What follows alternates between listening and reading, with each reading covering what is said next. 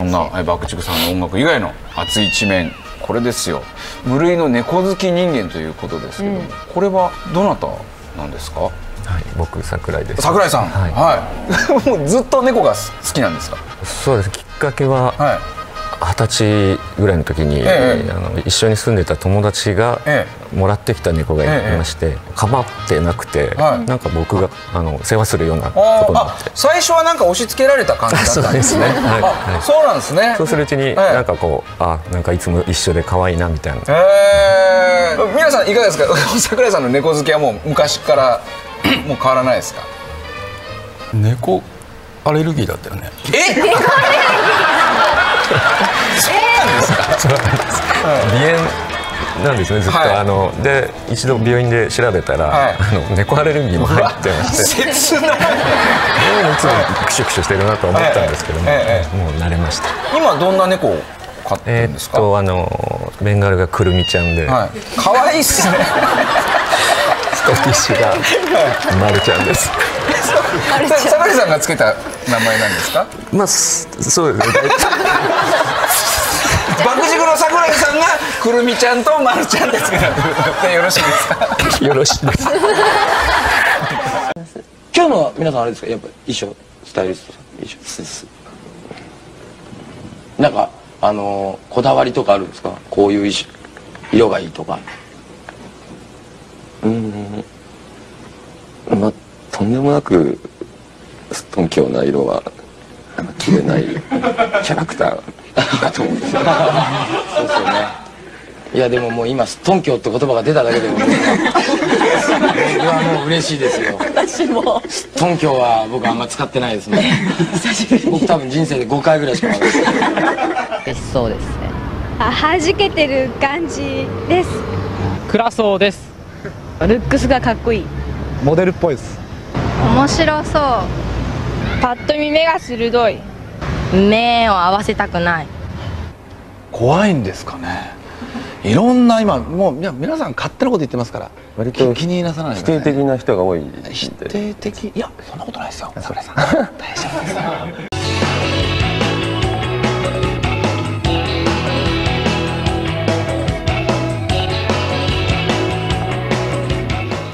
だからあの皆さんそう言ったようにどこで何を見たかによるじゃないですか、はい。ねたまたま機嫌が悪い時に を見たりとか。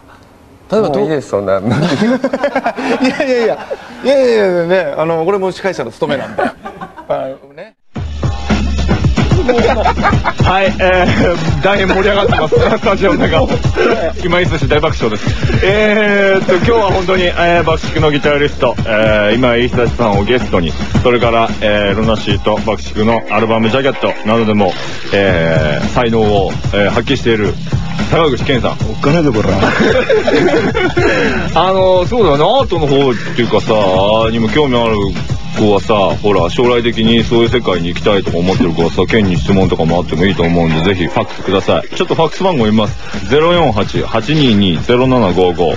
048-822-0755です。えー、バンバンファックスお待ちしてます。で、質問が来てるんですよ、皆さん。はい。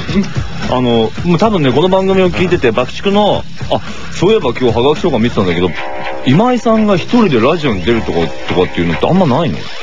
え何ゲストでとか。とかテレビだって出ないよね。ちょっ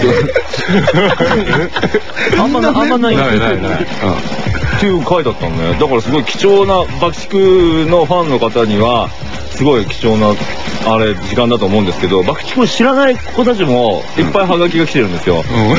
初歩的なところの質問も、ちょっと折り交ぜつつ、ちょっと爆竹コアファンの方にはちょっと失礼なんですけど、いいですか？一一つ。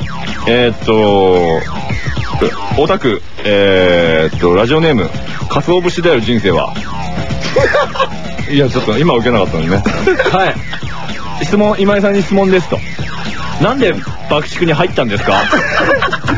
わけがわかんないなもう。いや、ていうか、そこら辺からもう説明していかないと、あの、爆竹っていうのは、いやもともといるから。今井さんが、今井さんが作ったバンド。そう俺から膨らんでったようなもん。だから だからこの入ったんですかっていうのは、ちょっと違いますね。続いてのお客様は爆竹の皆さんです。ようこそお越しくださいました。こんばんは年で爆竹さんメジャーデビュー16年目を迎えられるいですよ。ということなんですよ。はいはい。長いですよね。長いですよ。うん。でその長続きした秘訣なんかを伺いたいなと思うんですけども、いかがですか？どうしてこんなに長く続いたんだと思いますか、わかりません そうですか。なんかイメージもこう変わらないですもんね。そうですね。ずっとこう、なんていうんですか。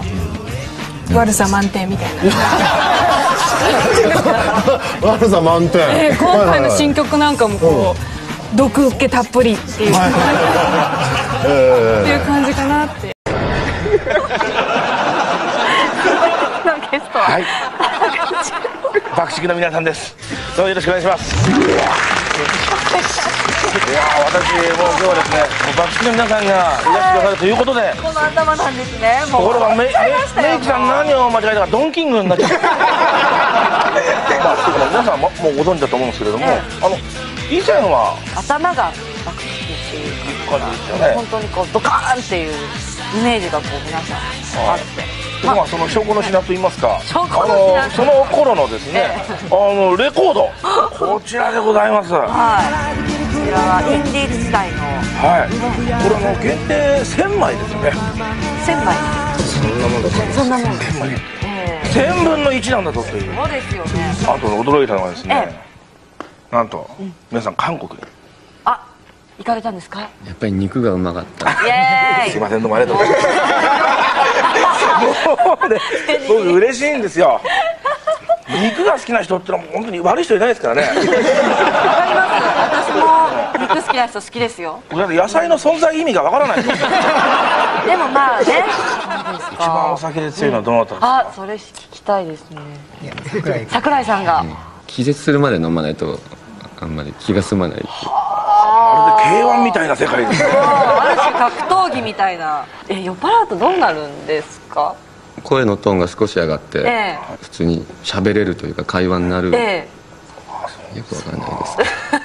そうなんですまあ大体お酒飲んでる人ってわけわかんないもんですけど。いやでもね皆さん危う。く聞き逃したとこだった。あぶね私も私もっていう意味。皆さん、明けましておめでとうございます。えー、今年の抱負を、えー一人ずつで。はい、えー、今年は、えー、アルバムを作り、えー、ツアーをする予定でございます。えー、お楽しみに。えー今年も精力的においてますます元気で頑張りたいと思いますえー、えーと、まずは、レコーディングで頑張ってください。頑張ります。はい、えー、ライブも。あ、あれいいよあれライブ頑張ります。はい。え今年も盛り上がりましょそれでは皆さん、2020年、えーどうか、お幸せでありますように、今年もよろしくお願いします。お願いします。爆竹でした。爆竹です。爆竹です。1987年独特なビジュアルで圧倒的なインパクトを与えデビューした爆竹。そんな彼らが今年デビュー20周年を迎えた。20年を経て彼らはどう変化したのか。名残はもう兄が兄がもう。一生これでいやあの時は誰かに認めてもらいたいっていうのが大きかったんで自分たちがまあかっこいいと思ってやってましたんでそれが一番あの幸せでもありましたね。っていうかデビュー当時はそれを思ってましたよね。まあ一石を投じじゃないですけどそういう気持ちではデビューしました。変わったことか分かんないですけど。しかし彼らによりロックシーンは確かに変わっていた。去る9月8日爆竹に多大な影響を受けたトップアーティストたちが横浜に集結。音楽を通して爆竹の20周年を祝った。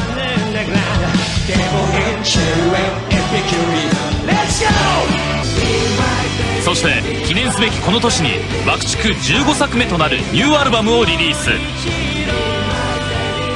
生っぽさバンドらしさそれが一番。そうですね。そして最後に結成当初から同じメンバーで続けてこられた秘訣を聞いた。我慢です。我慢してるよ。まずはこちらのトップ3からどうぞえーこれが第3位の、えー山梨の勝沼ワインです、えーたまに富士山の方に行って帰りに買って帰ることがありました。味の方は分かりませんあまり。美味しいと思いました、え2位のワインはイタリアキャンティです。えーイタリアで昼間っから、えーおじさんたちが飲んでるのを見て羨ましいと思って真似して飲んでます、えー味の方はイタリアです。えー1位がチリワインで、えーマルテスで カーサコンチャカルベネ1997年です、えー。えー。メンバー全員酒飲みなのでうん。本当は焼酎の方がもっと好きです。